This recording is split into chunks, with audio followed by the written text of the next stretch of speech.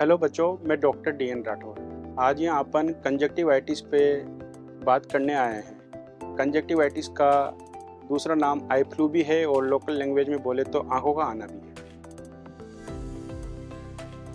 Conjunctivitis एक तरह से अगर अपन बोले इन्फ्लेमेशन या सूजन, जो कि अपनी आँखों के ऊपर सबसे ऊपर लेयर होती है कंजक्टाइवा उस कंजक्टाइवा की सूजन को ही अपन कंजक्टिवाइटिस बोलते हैं।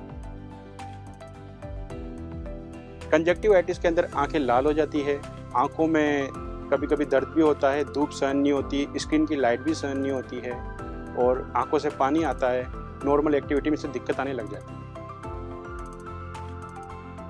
कंजक्टिवाइटिस दो तरह की होती है, एक तो इन्फेक्टिव और एक नॉन इन्फेक्टिव पहले अपन नॉन इन्फेक्टिव का इसलिए ले रहे हैं कि नॉन इन्फेक्टिव किसी केमिकल वगैरह, किसी इरिटेंट से हो सकती है और इन्फेक्टिव इन्फेक्टिव के कारण बहुत सारे होते हैं, इसमें अपन दो अगर ब्रॉड कैटेगरी रखेंगे तो एक है बैक्टीरियल और एक है वायरल वायरल मोस्ट कॉमन होती है।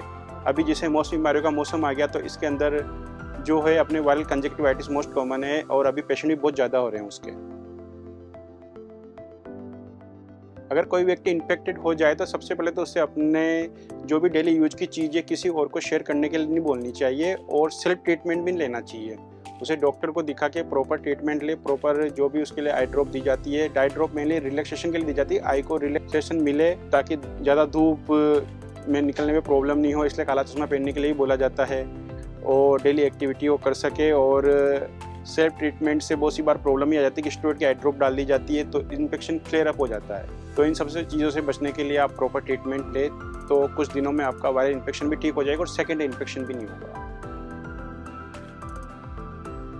कंजक्टिवाइटिस बचाव के लिए सबसे इम्पोर्टेंट चीज़ तो वही है कि किसी इन्फेक्टेड पर्सन या अनजान आदमी की कोई भी चीज़ें शेयर नहीं करें, जैसे कि तौलिया, रूमाल वगैरह और उसकी बेडशीट पे जैसे अपन एक हॉस्टल के अंदर दो रूम होते हैं तो दोनों के पिलो अलग है तो अलग अलग पिलो पे सोए, एक पिलो शेयर नहीं करें और कोई भी अनजानी सरफेस पर अगर अपने हाथ लगते हैं तो सीधे वो हाथ आँखों को टच ना करें।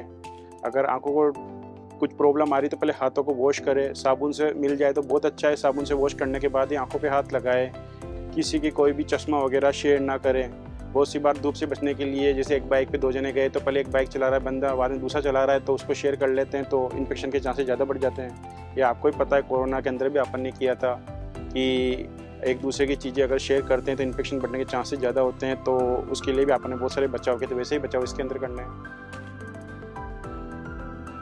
हाँ बचाव के लिए मैंने जैसे आपसे बोला हैंड वॉश आँखों पे, ये अपने कोरोना के हिसाब से मैंने बोला था, वो बात बिल्कुल सही है। इसके अंदर भी वायरल इन्फेक्शन है।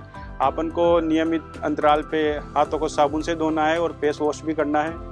और अगर आँख पे कोई, कुछ भी अपन को कुछ प्रॉब्लम आती है, आँखों पे हाथ लगाने की ज़रूरत पड़ती है, पहले हैंड वॉश करने के बाद ही आँखों पे हाथ लगाए। ऐसे सीधे हाथ ना लगाए। आशा करता हूँ बच्चों की आपको कंजक्टिवाइटिस या आई फ्लू के बारे में संपूर्ण जानकारी मिली होगी और इसका आप उपयोग अपन करके इस इन्फेक्शन से बचने की कोशिश करें।